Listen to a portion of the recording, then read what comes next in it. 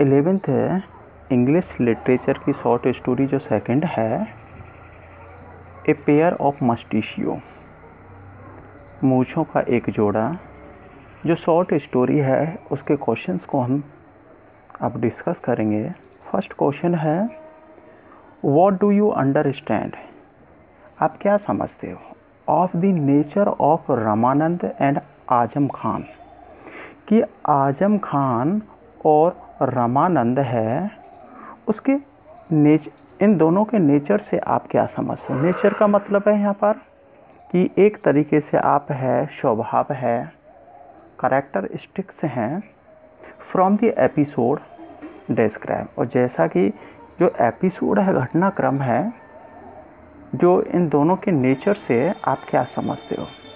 तो हम देखते हैं कि जो आज़म खान है और रामानंद है, इसका करेक्टर स्केच है और हमें और समझना चाहिए। सबसे पहले हम जो रामानंद है, उसका करेक्टर स्केच देखते हैं। A business man of the village जो रामानंद है, गाँव में एक बिज़नेस मैन है, व्यवसायी व्यक्ति है। Full of wit and wisdom intelligent व्यक्ति है। कनिंग पर्सन है गुड बिजनेसमैन एक अच्छा व्यापारी व्यक्ति है सेल्स ग्रोसरी जो कि आवश्यक घरेलू सामान है, उसको बेचता है and lend money to the a people और लोगों को जो पैसा है, वो उधार देता है। कूल एंड काल्म शांत स्वभाव का है नेवर गेट्स एंग्री और कभी भी नाराज़ नहीं होता है। कंट्रोल ओवर हिज कस्टमर्स और जो कस्टमर्स है, उन पर उसकी जो पकड़ है, बहुत ही अच्छी है। कनिंग नेचर स्वभाव से कैसा, बहुत ही इंटेलिजेंट है। प्रैक्टिकल व्यावहारिक व्यक्ति है। और उसका मानना है हिज बिज़नेस फ़र्स्ट है। कि जो व्यापार है, उसमें उसकी पहली प्राथमिकता है।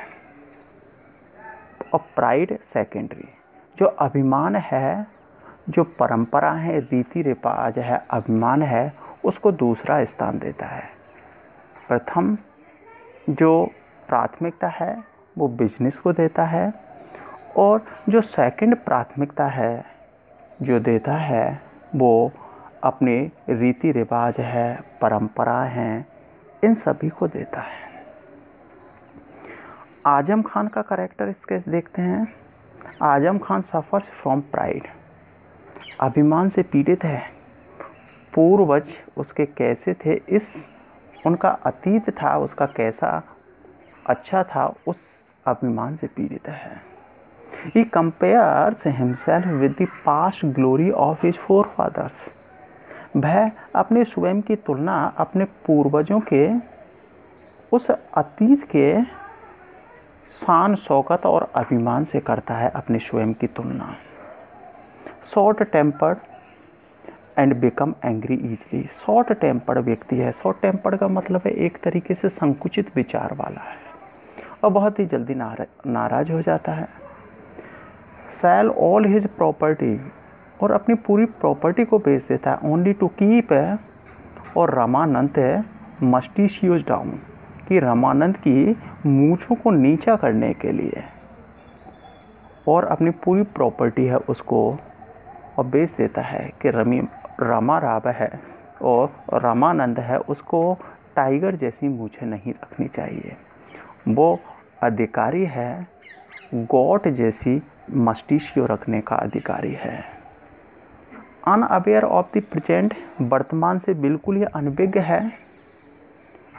और जिसका प्रेजेंट है, वो बहुत अच्छा होता है, उसका फ्यूचर भी ब्राइट होगा। इसके बाद हम देखते हैं इम्प्रैक्टिकल है, अव्यवहारिक व्यक्ति है। ही डज नॉट नो वह नहीं जानता है वॉट इज़ राइट और what is wrong for him वह नहीं जानता कि उसके लिए क्या सही है और क्या गलत है। तो हमने जो क्वेश्चन नंबर फ़र्स्ट है, वो डिस्कस किया है अभी। और क्वेश्चन नंबर सेकंड देखते हैं अपन। The episode has been narrated in a light vein कि इस कहानी में हल्का सा जो अभिमान है, उसका वर्णन किया गया है। वॉट सोशल मोड्स वो सामाजिक आचार विचार क्या हैं? Does the narrator seems to ridicules और जिनका कि जो लेखक है उपहास उड़ाता हुआ उपहास बनाता हुआ प्रतीत होता है कि वो सामाजिक आचार विचार क्या हैं? और जिनका कि यहाँ पर राइटर है, जो उपहास है बनाता है, उपहास उड़ाता है, जो कि समाज में वो पाए जाते हैं। तो यहाँ पर हम देखते हैं कि यहाँ पर आपको पता है कि इस जो शॉर्ट स्टोरी है, उसमें ह्यूमर का प्रयोग किया गया है, हास्य। और जो डायलॉग होते हैं। The dialogue between Ramanand, Ramanand and Azam Khan are full of humour कि रामानंद और आज़म खान के बीच में होने वाली बातचीत है, वो हास्य से भरी हुई है।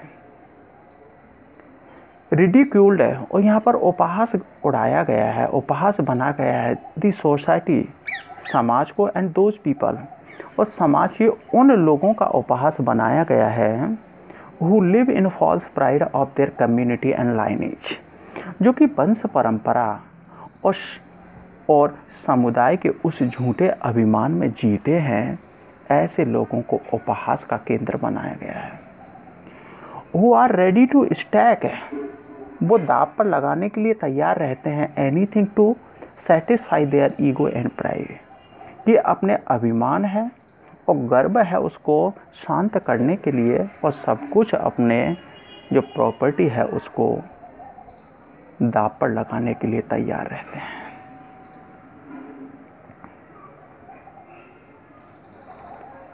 क्वेश्चन नंबर थर्ड है what do you think is the message the author seems to convey through the story what do you think आप क्या सोचते हो?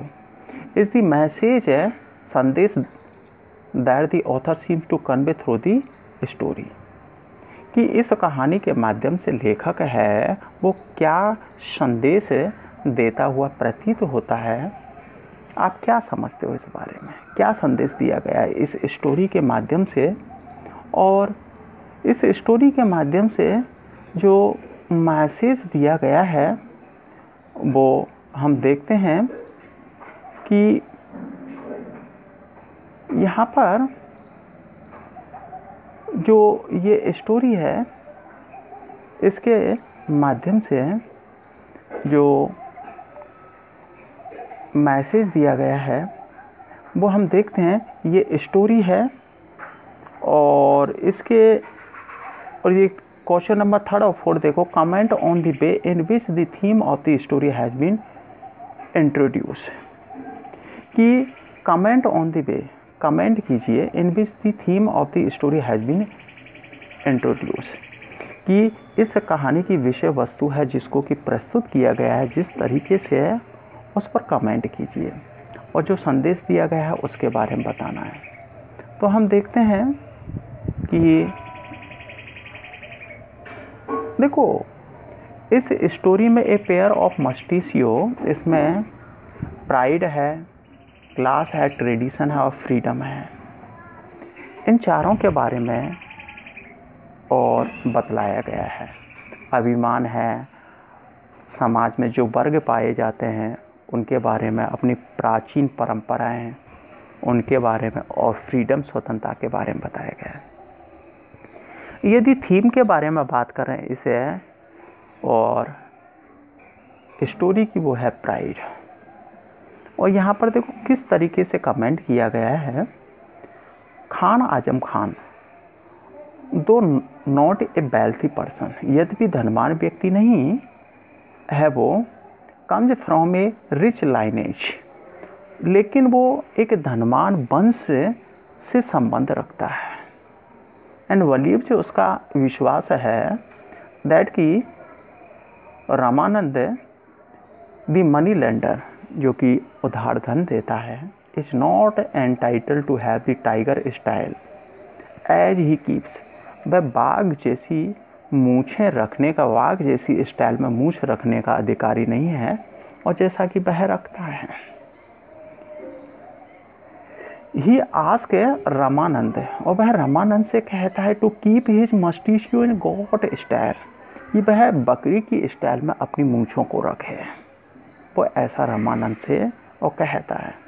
बीच रामानंद डिक्लाइंज और इस बात को अर्थात गॉड जैसी मूछें रखने की जो स्टाइल है, उसके लिए मना कर देता है वो Ramanand. But later on accept लेकिन बाद में वह इसे और एक एग्रीमेंट को स्वीकार कर लेता है।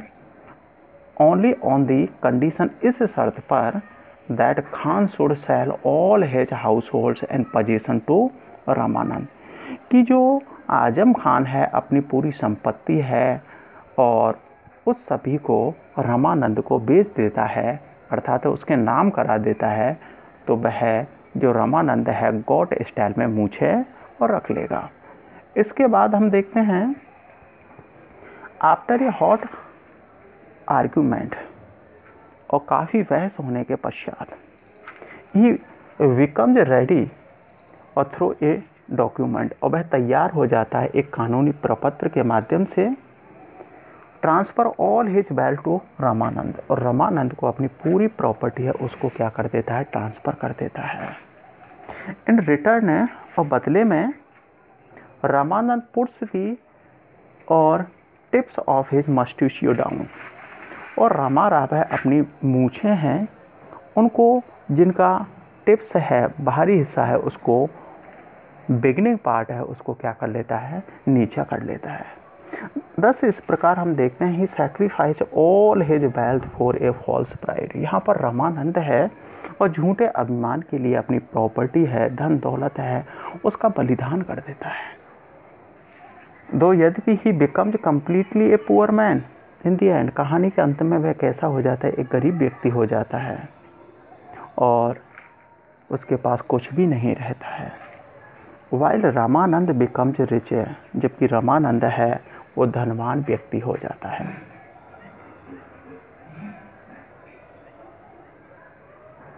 जो क्वेश्चन नंबर फाइव है what kind of mustachios has the author describe कि इस चैप्टर में जो लेखक है, किस प्रकार की मूछें और वॉट काइंड किस प्रकार की मूछों का वर्णन करता है, कि मूछें कैसी होती हैं। तो देखो, यहाँ पर अनेक प्रकार की मूछों के बारे में बतलाया गया है। Chinese American English type of है मस्टिशियो चीनी अमेरिकन और अंग्रेज़ जो व्यक्ति रखते हैं, उस प्रकार की मूछें इसके बाद हम देखते हैं लॉइन है टाइगर है गोट है सीप है चार्ली चैप चैपलिन है और करजोन कट मस्टिचियो कि शेर जैसी, बाघ जैसी, बकरे जैसी, बकरी जैसी और भेड़ जैसी और चार्ली चैपलिन जैसी मूछें और कुर्जन कट है मस्टिशियो ये सभी मूछों के प्रकार हैं। यहाँ पर हम देखते हैं कि जो लोइन मस्टिसियो है, कि लोइन जैसी मूछे कौन रखता था? राजा है, महाराजा हैं, नवाब हैं, ये सभी लोइन जैसी मस्टिशियोज रखते थे। टाइगर जैसी मस्टिशियो कौन रखता था? और फेडल जेनेट्री, सामंती लोग हैं, कुलीन जन हैं, कुलीन लोग हैं, वो रखते थे। गॉड है मस्टिशियो बिज़नेस क्लास व्यक्ति हैं, वो रखते हैं। Chaplin, mustachio, cut the lower और मिडिल क्लास, जो कि लोअर और मिडिल क्लास के लोग हैं, वो रखते हैं। और कुर्जोन मस्टिचियो, साहेब और बैरिस्टर्स हैं। बैरिस्टर मतलब है एडवोकेट हैं। वो सभी लोग हैं और इस प्रकार की जो मूछें हैं, वो रखते हैं।